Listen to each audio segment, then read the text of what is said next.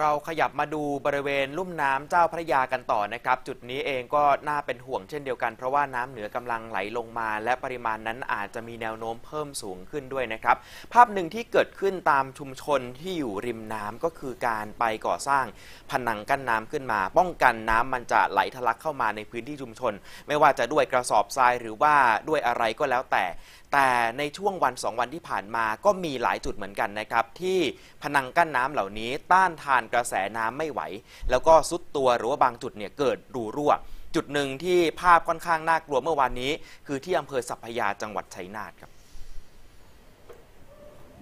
รั่วออกมาแบบนี้เลยนะครับ จุดนี้คือพนังกั้นแม่น้ำเจ้าพระยา ที่หมู่ 5 บ้านโพเตี้ยอำเภอสัพพยาจังหวัดชัยนาทถูกกระแสน้ำกัดเซาะจนเกิดรอยรั่ว แล้วก็น้ำทะลักเข้ามาในพื้นที่ด้านในอย่างรวดเร็ว จนชาวบ้านที่อยู่ใกล้กับจุดดังกล่าว ขนสิ่งของหนีน้ำกันไม่ทันครับ ภาพที่เกิดขึ้นนักข่าวไปเจอคือทั้งโทรทัศน์เอ่ยเครื่องใช้ไฟฟ้า อะไรที่พอจะขนได้ก็ต้องขนไปก่อนนะครับ แต่หลายจุดก็ไม่ทันครับ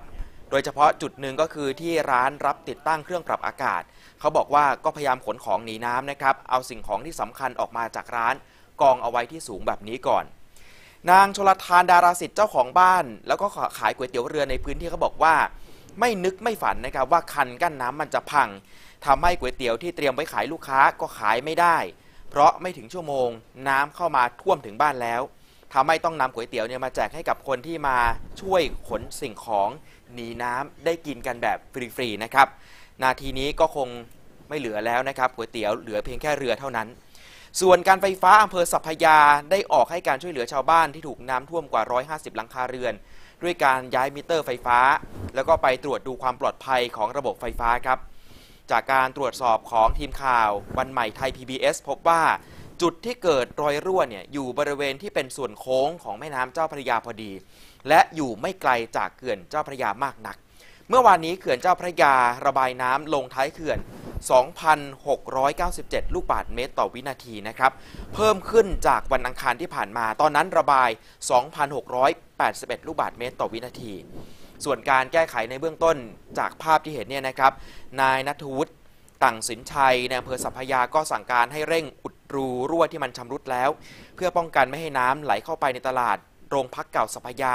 ซึ่งเป็นพื้นที่ย่านการค้าที่สำคัญนะครับครับ ซึ่งเขื่อนเจ้าพระยาเนี่ยจริง ๆ แล้วอัตราการไหลของน้ำที่เขารับได้เนี่ยอยู่ที่